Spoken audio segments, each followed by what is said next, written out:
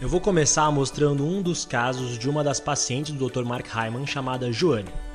A Joane tinha 36 anos e foi diagnosticada há muitos anos com depressão, fadiga e fácil irritabilidade.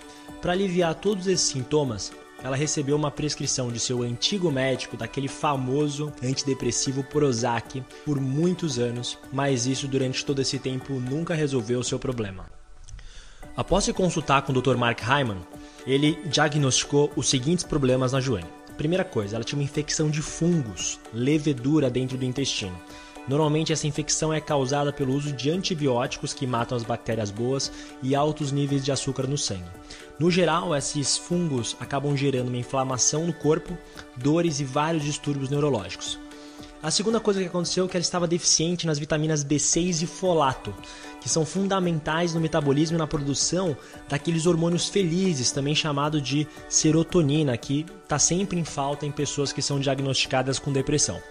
E o maior problema de todos é que ela tinha um alto nível de intoxicação com mercúrio, um problema muito mais comum com nós do que se pensa.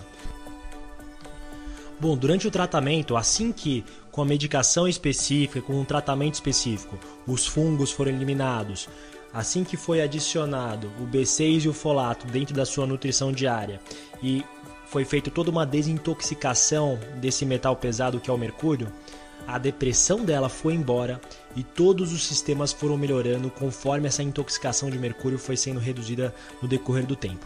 Além disso, ela acabou perdendo 21 quilos no decorrer desse tratamento.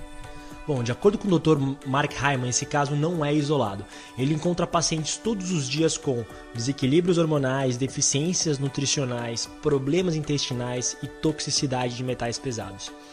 Esses mesmos pacientes acabam recebendo medicações de outros médicos para aliviar os sintomas, mas raramente recebem tratamentos que atacam a causa do problema. Pensa bem nisso. Quantos neurologistas ou psiquiatras você acha que pedem um teste de intoxicação de metais pesados antes de prescrever um antidepressivo? A resposta é que provavelmente nenhum ou pouquíssimos deles. Isso acontece por um simples problema: a visão fragmentada da medicina atual. Nós temos especialistas em cabeça, em articulações, em hormônios, em psique, mas poucos têm um treinamento para reconhecer os efeitos sistêmicos que uma intoxicação, por exemplo, pode trazer no sistema do corpo humano. Os neurologistas, eles tentam corrigir um desequilíbrio hormonal com antidepressivos, mas dificilmente se perguntam o que causou aquele desequilíbrio em primeiro lugar. Porém, a nutrição, que tem um papel essencial na cura de várias doenças, foi percebido o seguinte: em um estudo nos Estados Unidos, em todos os oito anos de estudo dos médicos, são exigidos apenas 25 horas de estudo em nutrição.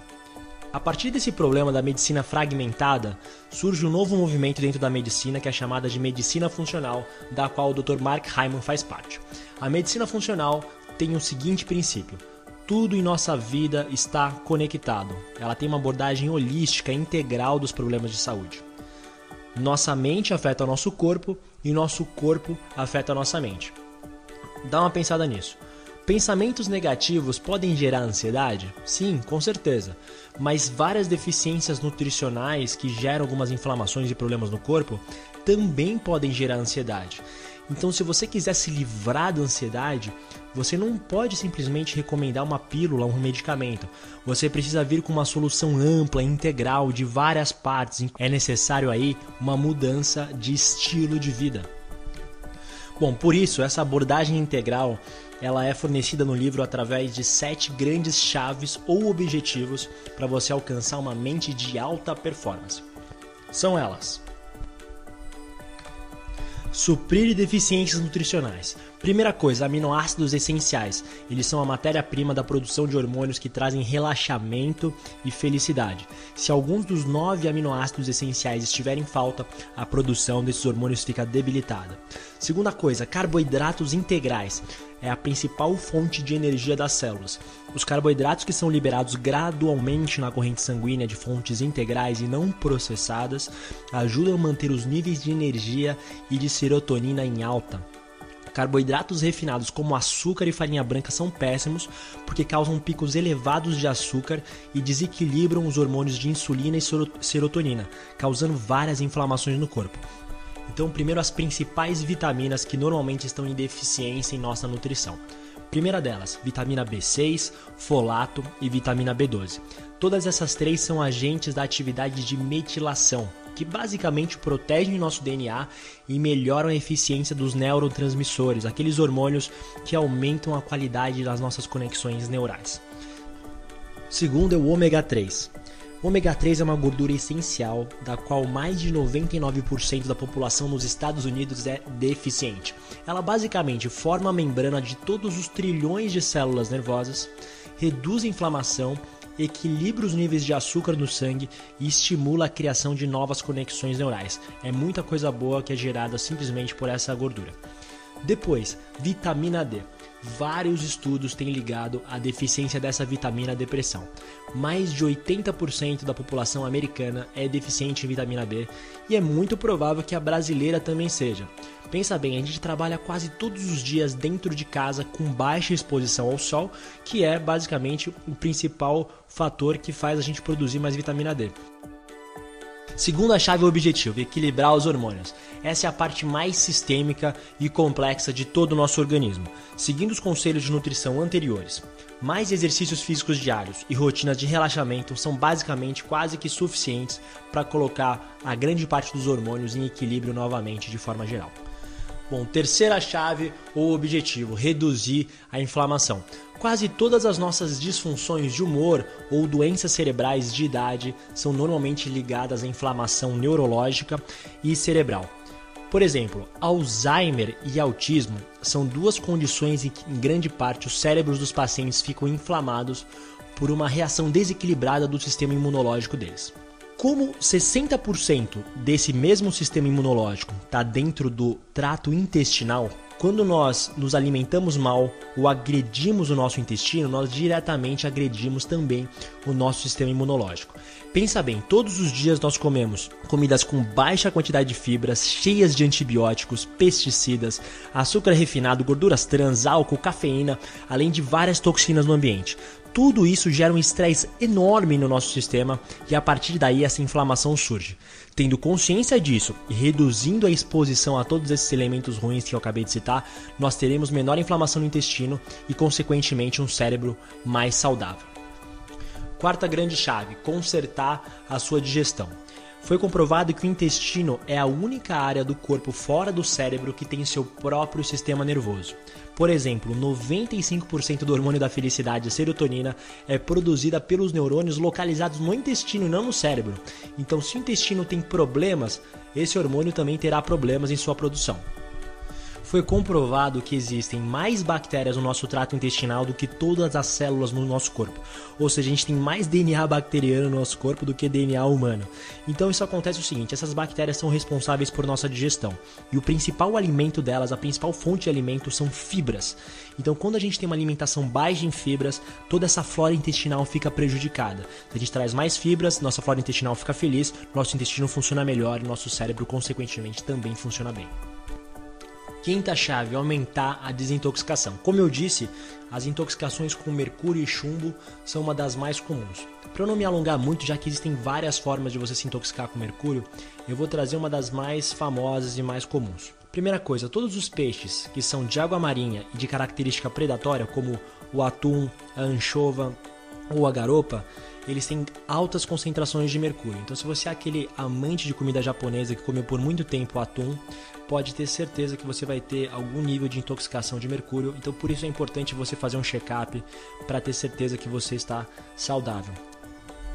Sexta chave: aumentar seu metabolismo. Quando você aumenta seu metabolismo, você aumenta sua produção de energia, que é fundamental para você fazer qualquer atividade na sua vida. Duas são as grandes coisas que você pode fazer para aumentar o seu metabolismo. Primeira delas, aumentar a incidência de exercício físico na sua rotina. Bom, e a segunda é o consumo de alimentos ricos em antioxidantes de fontes vegetais. Então, beterraba, cenouras, folhas verdes escuras, ou seja, todos esses alimentos coloridos, quanto mais coloridos, maior a concentração de antioxidantes. Por que o antioxidante é importante? Porque eles neutralizam radicais livres na hora de produção de energia pelas mitocôndrias.